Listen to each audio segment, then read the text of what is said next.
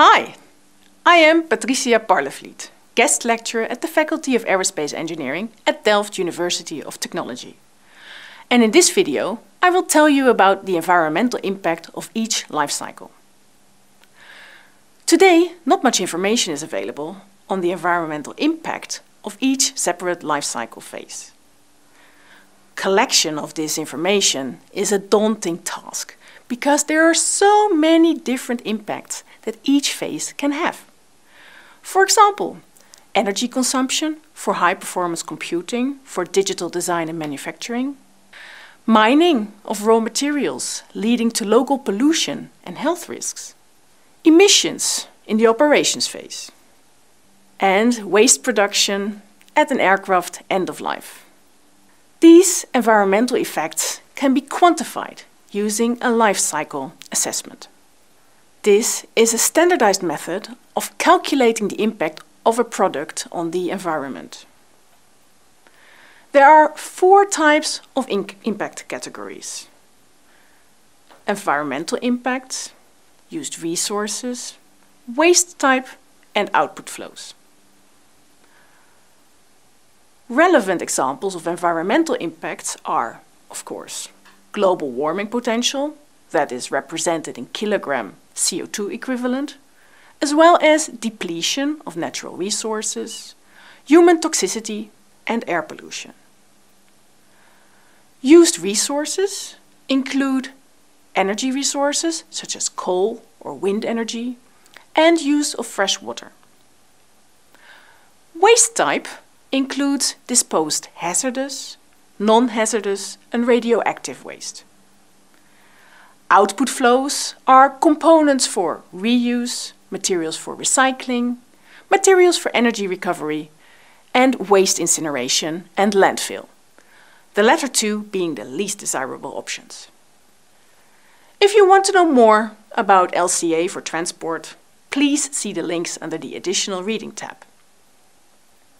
So, if you would make a qualitative estimation of the climate impact in CO2 equivalent for each life cycle phase as it is today, the results would look roughly like this. Now, what do you see? Estimations of the operations phase impact on climate change range from 85% to 98% of the total life cycle impact. The rest comes mainly from the manufacturing phase, including the mining of raw materials. So rightfully, most solutions presented in this MOOC target the operations phase with new propulsion technologies and other types of fuels to reduce the emissions. When these solutions become successful, the above picture may change to this in the future. For example, in the year 2040. This picture shows a relatively larger contribution of the other life cycle phases, especially for manufacturing, if we do nothing. Previously, I introduced you to the life cycles of an aircraft. It was explained how many decades materials can take from idea to an aircraft's end-of-life waste. And now you know that environmental impacts can be quantified using a life cycle assessment. As you have seen, today an aircraft life cycle is mainly linear. Why do you think that is? Please describe your thoughts in the discussion forum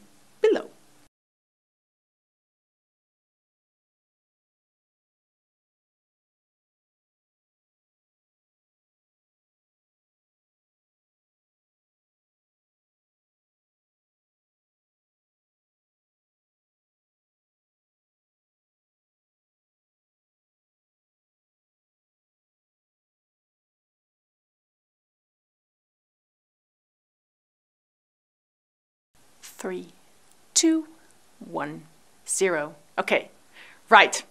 It was mentioned at the beginning of this sequence, where the design phase was described. In the current linear life cycle, the main drivers of the design process are weight, cost, performance, and safety. A linear life cycle is also often described as take, make, use, dispose. The result is that a lot of fossil resources go into an aircraft and emissions and waste come out. Environmental impact was, and sometimes still is, not part of the equation. So how can we change that? We believe that for sustainable aviation we need to move to a circular approach, which starts at, you guessed it, the design phase, life cycle design. Life cycle design is the environmentally sound design of products based on the whole life cycle, starting from exploitation and processing of raw materials via pre-production, production, distribution to use and returning materials back into the industrial cycles. The target is to reduce the environmental impacts for the whole aircraft life cycle.